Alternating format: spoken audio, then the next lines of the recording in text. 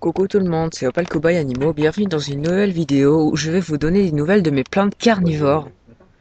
Donc, euh, pour commencer, bah, pour la Sarracenia, donc la fleur est fanée, voilà c'est fini.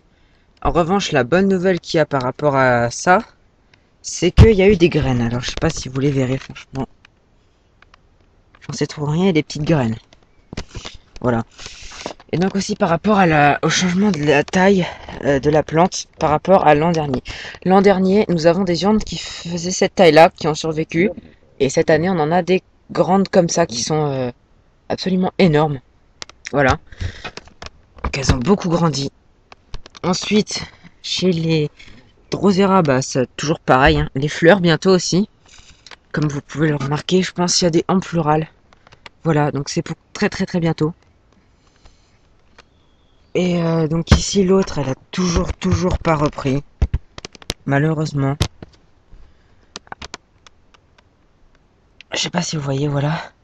Toujours pas repris.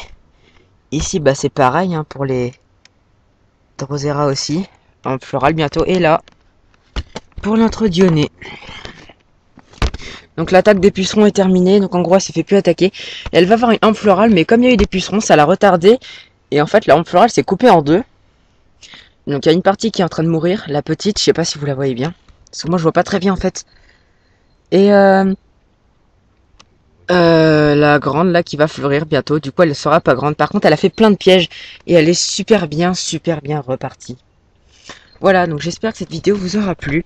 Merci d'avoir regardé, au revoir et à bientôt pour de nouvelles vidéos.